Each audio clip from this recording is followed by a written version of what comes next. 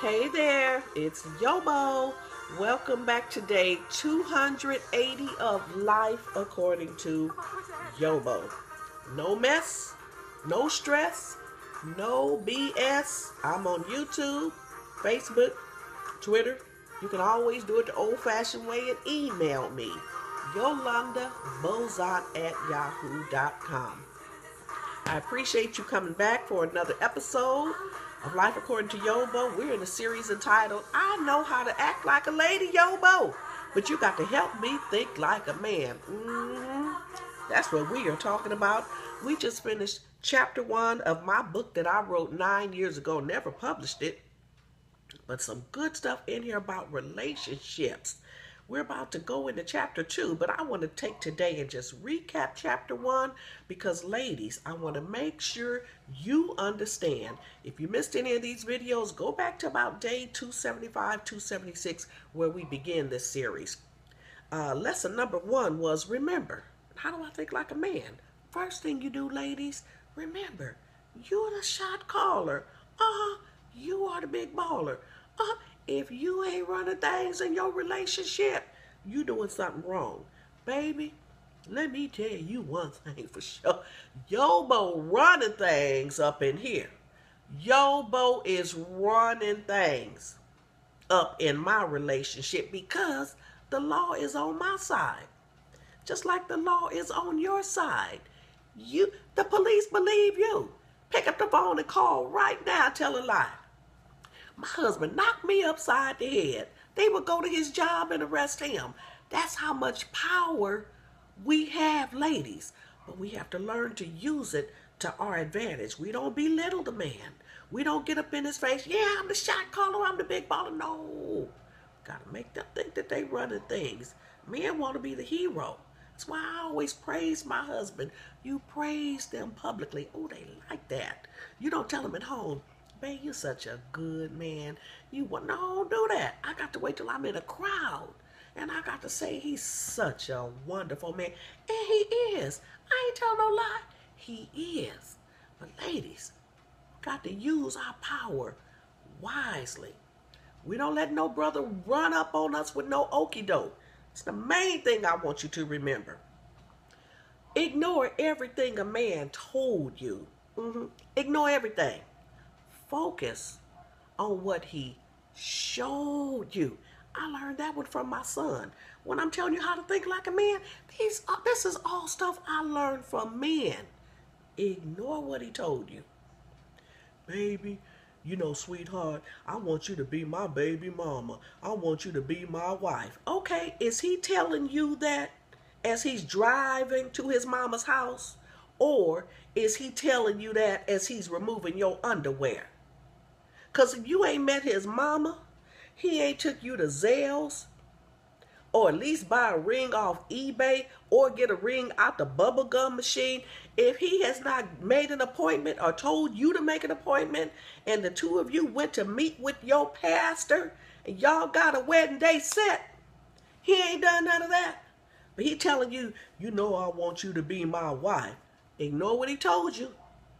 Is this joker doing anything anything that's leading up to marriage. Have you met any of his family? Okay, if this is January and y'all been together since last June, you didn't go to Thanksgiving dinner, you didn't go to Christmas dinner, his auntie died, and he didn't invite you to the funeral, but he want you to be his wife, and he want you to be his baby mama, and you steadily run around telling everybody he's your fiance and you ain't put a he ain't put a ring on it. By the way, my husband put two rings on it. One of my little devilish niece. Remember I was talking about people and saying I don't understand how people have their little kids, their little kinfolk in foster care. And I told you I took one of mine out of foster care. Woo, we couldn't wait to put her little butt back in. Well, when she came to my house, I had a wedding ring, but see, I gained a little weight and the ring wouldn't fit. So I had it in my jewelry box. But when she left, my wedding ring was gone. My class ring was gone. I didn't say she took it. I just said it was there when she came and it was gone when she left. So my husband did put a ring on it. Then he put a second ring on it, but what he did was he remembered that when we first got married, he bought me a size five and a half ring, trying to be slick. He goes out and buys me a ring, size five and a half, which I can't do nothing with the thing but put it in the drawer because I can't fit it. So if he ain't put a ring on it, even bought you a ring too small, he ain't put a ring. Child, that is game. Listen, game recognized game up in here. Everything I'm telling you, lessons Yobo learned the hard way. There ain't no reason for you to get played. I'd have been played enough for me and you and your kids and your grandkids. I'm telling you everything Yobo done learned the hard way. Listen to Yobo. Yo, baby, Yobo telling you the truth. You the shot caller. You the big baller. Ignore what he told you. Focus on what he showed you. I'm at six minutes. Um, the church man looking for a Christian man. He saved. Woo! When the man, with first thing he says he saved, you better start running. You best to start running. Let me tell you something. I would take a brother out the club before I take one out to church. At least the one coming out the, the club, I know what I'm working with. Brother coming out to church, you treat him the same way you treat everybody else. You better you better look at what he showed you, not what he told you. Just because when the organ's going do do do do do do do do do, he can get up and he can dance all over the church. Honey, I can give me one from the club. We go to the Frankie Beverly and Maze concert, and when and when Frankie get to singing, he can get up, he can dance just as well. Don't fall for that church. Oh, don't fall for the church okey doke. And you ladies that's dating these divorced men, hold on a minute. I'm on page seven and I got 63 pages. Let me see if I talk. I don't want to jump ahead of myself. Let me see.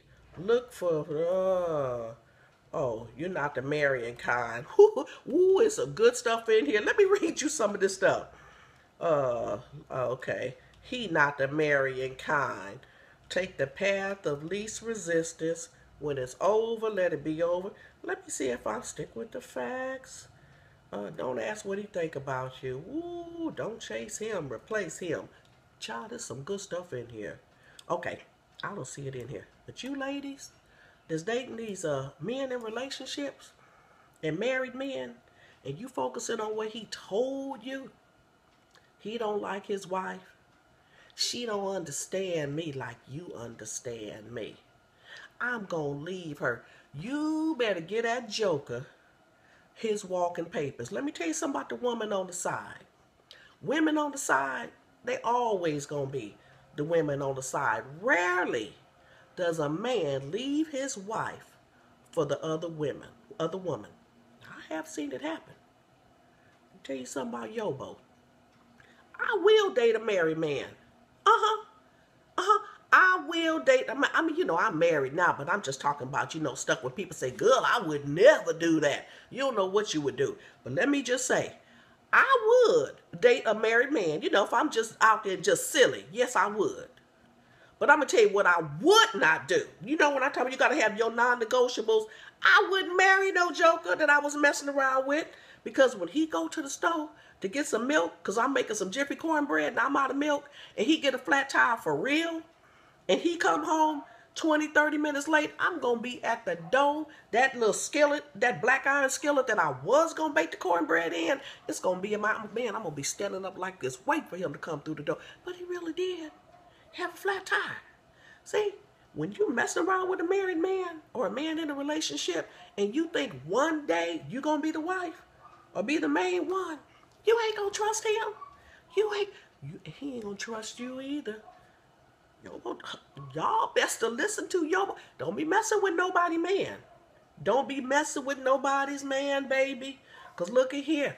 My mama say, one, get the honey, and one, get the money. My mama already told you about that. She said, when you get through with you, he coming home. That's what mama said. Lord, I'm at 10 minutes. I need to shut my mouth. Come back for day 281. We're going to start lesson number two in. I know how to act like a lady, but how do I think like a man? Life according to Yobo, it's tight, boo, but it's right. All right, come back tomorrow. Bye-bye.